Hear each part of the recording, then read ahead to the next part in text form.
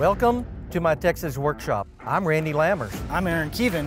This is Würth Knowing.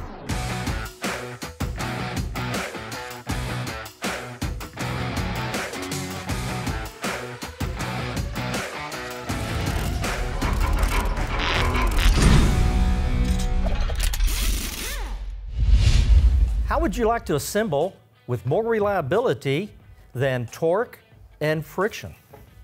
Let's talk about Turn of nut. It is an old and tried method that's been used in the structural industry for many, many years. Correct, Chris? Absolutely. And Chris, thank you for being with us. Thank you for hanging in there and doing another episode with me. I'm just glad you hadn't chased me out of Texas just yet. I'm Oh. excited to talk to you about turning nuts. Hey, you got your boots on, so we're gonna make a Texan out of you. All right, so t- Turn of nut. Turn of nut is first based on the theory of Hooke's law, which tells us that steel will stretch one thousandth for every 30,000 pounds per square inch of stress applied for every inch of material between bearing surfaces. So it's all about stretching that steel. And through doing turn of nut, that angle of rotation, we now can more determine how much that steel is going to stretch. So RCSC has done a good job of giving us real guidelines on how much to rotate the nut in order to accomplish a stretch in the steel. Absolutely. And when we get down to the iron workers, we don't need them or anyone that's installing these bolts to know Hooke's law or physics or whatever. Right. They know that when they get that third turn, for example, on a bolt that's less than four times the diameter, Right. they're going to go a third turn every time. That's repeatable. And that's the most important thing is to get the performance out of these structures that we need so that we know that we have a secure joint. And it's repeatability. That was a good word for you to use. So if they're doing the same thing over and over and over, they're getting repeatable results.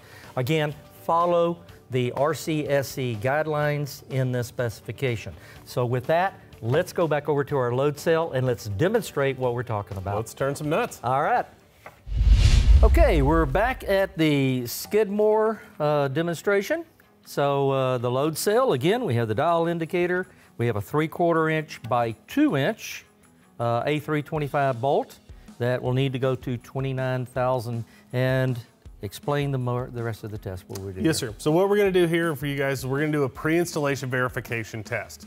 So the RCSC is going to recommend we get to get this get this bolt to snug tight. Okay. Then we're going to give it a one-third turn because it's less than four times the diameter Okay. and the length, and we're going to see where that registers. If it doesn't get to where we need it to get, then we're going to keep rotating, and then we need to mark. This is how far we had to rotate this nut, or not mark. We're going to observe where the mark is, so we know this is far. So for this lot, using this method, appropriate snug, when we get up into the steel, we know what kind of rotation we need to do. Okay. To so- repeat this method. So I'm gonna I'm gonna repeat what you said. Make sure I have it right. So one third is what the chart says us to use for this size bolt. Yes, sir.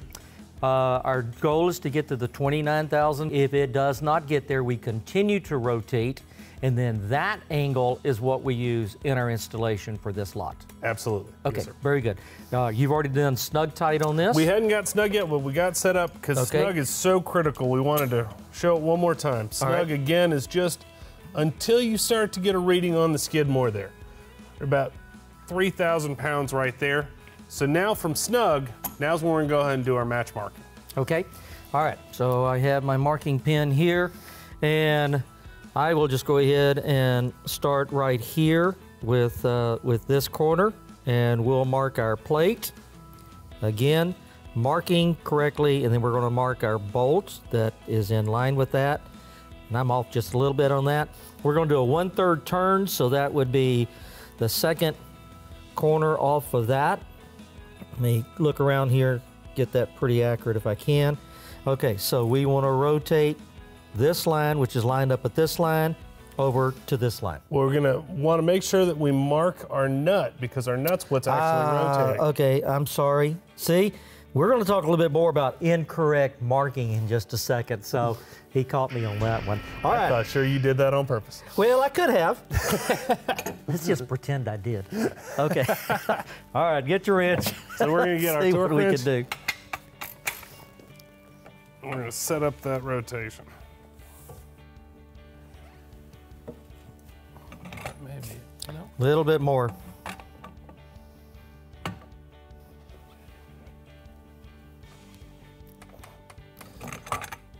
All right.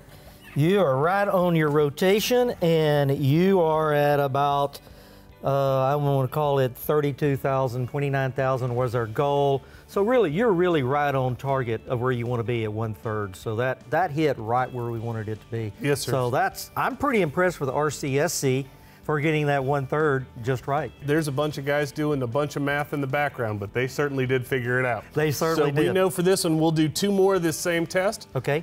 And if we get these same kind of results on the next two, we know that this lot is good to go. Okay, let's we'll break that loose. We'll come back and do that other test. Okay, test number two. We have it snug. Let me uh, let me do my uh, my marking here. So again, we're going to mark the nut this time, Chris. we're going to mark the bolt. Lines up with that, and we're going to mark the plate, and then we go over two corners and to give us one third turn and mark the plate over there. All right, let's rotate this Sir. and see what we go.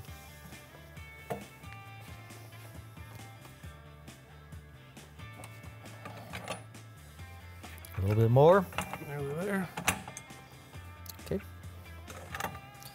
All right, you're right there at it, and we got pretty much the same results we had the last time. So let's break this loose and do the third one, and that'll test this lot. Yes, sir. All right. All right, our third and final test. Uh, we have this snug. I'm going to mark it really quick.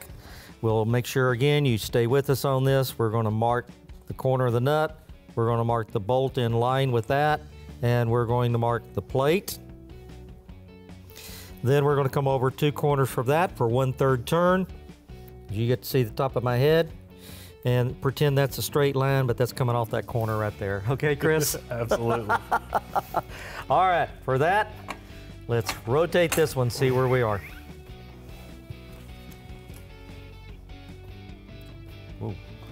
so Meg gutting it almost. Okay, One swell foop there. all right, Let's give it just a little bit more.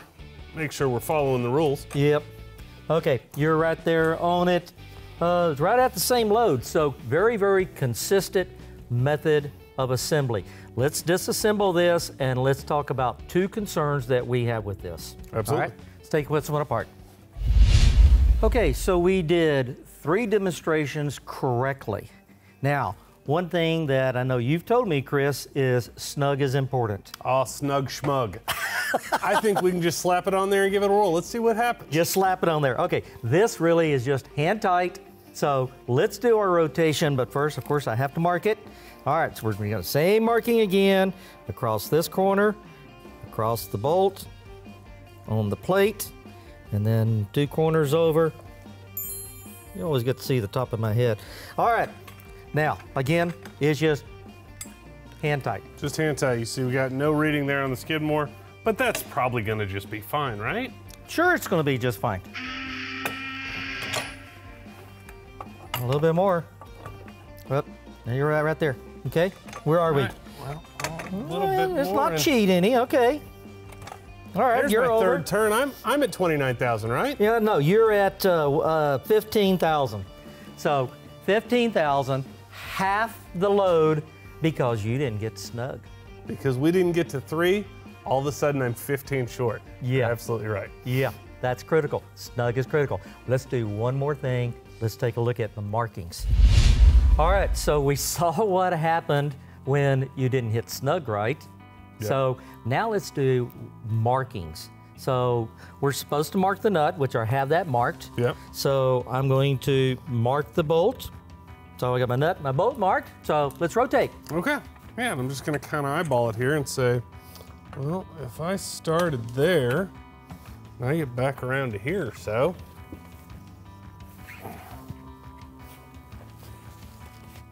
And you're there. Okay, Yeah, there's your I'm- there's your load. I'm at my Okay, load. Okay, now what do I know? Well, did my boat rotate? I don't know. Well, I don't know. Yeah, so I don't know where I started on my plate. I don't know where I finished on my plate. I have that mark and that mark. Eh, that might be a third, but I don't know. And this is what happens when an inspector comes and looks at this, they're going, I don't know. I don't know if the bolt turned. I don't know if this means anything. You'll have problems. Marking is critical then, isn't it? It absolutely is. You need to make sure that you follow the steps. And if you follow the steps, your material is going to perform how you want it to every time. You just have to make sure you follow the steps. Excellent. In conclusion, turn of nut is one of the most widely used methods of structural bolt assembly, and friction is not a factor. One of the big factors you do have to keep in mind, though, is you need to know the angle. The RCSC's laid that right out there for you. You got to make sure that you get to snug tight, and you've got to make sure that you're marking correctly. So that not just for your edification, but mm -hmm. for mm-hmm. the inspector that's coming in behind you, he knows that it was done and he knows that it was done right. Absolutely. And pre-installation verification, PIV testing is reality. It must be utilized. Assemble with confidence utilizing Turn of Nut. That's Würth Knowing. Chris Tribble continues to be a great asset for us. See you next time.